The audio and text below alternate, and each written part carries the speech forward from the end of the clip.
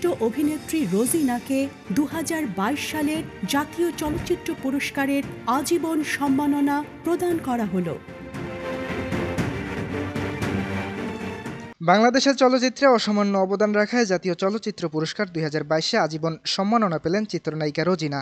মঙ্গলবার এক অনুষ্ঠানে প্রধানমন্ত্রী শেখ হাসিনার থেকে তিনি এই পুরস্কার গ্রহণ করেন।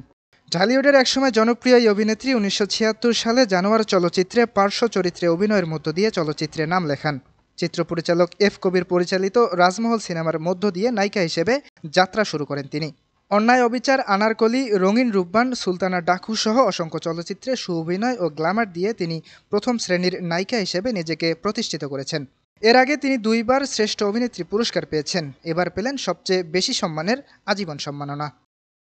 বঙ্গবন্ধুর সুযোগ্য কন্যা মাননীয় প্রধানমন্ত্রী শেখ হাসিনা। বঙ্গবন্ধুর পথ অনুসরণ করে দেশের উন্নয়নে ব্যাপক কার্যক্রম বাস্তবায়ন করে চলছেন। বাংলাদেশকে নিয়ে গেছেন এক অন্যান্য উচ্চতায়। চলচ্চিত্র শিল্পের উন্নয়নও অনেক যুগান্তরকারী পদক্ষেপ গ্রহণ করেছেন। আমাদেরকে অনেক নামি দামি শিল্পী সারা জীবন সবাই আনন্দ দিয়ে গেছেন।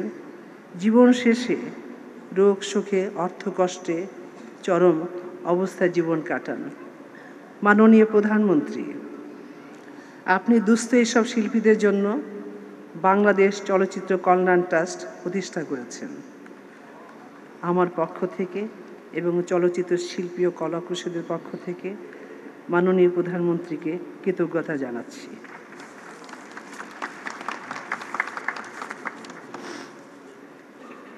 সম্মানিত সুধীমণ্ডলী, একটি সুন্দর অনুষ্ঠানে জননেত্রী শেখ হাসিনার কাছ থেকে আজীবন সম্মাননা পুরস্কার গ্রহণের সুযোগ পেয়ে আমি নিজেকে ধন্য মনে করছি। পুরস্কারপ্রাপ্ত শিল্পী, কলাকুশলী ও আমার পক্ষ থেকে মাননীয় প্রধানমন্ত্রীকে অশেষ শ্রদ্ধা জানাচ্ছি। জাতীয় চলচ্চিত্র পুরস্কার দুই হাজার বাইশ প্রদানের জন্য গঠিত জুরি বোর্ডকে আমি ধন্যবাদ জানাচ্ছি।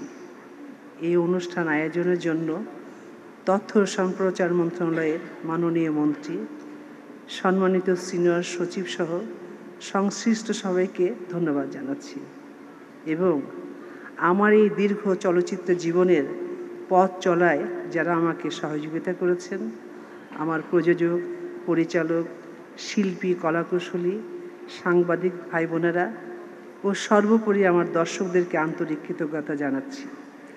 আজ আমি আমার এই পুরস্কার তাদের সকলের জন্য উৎসর্গ করলাম। আল্লাহ হাফেজ, জয় বাংলা, জয় বঙ্গবন্ধু। বাংলাদেশ চিরজীবী হোক। অসংখ্য ধন্যবাদ।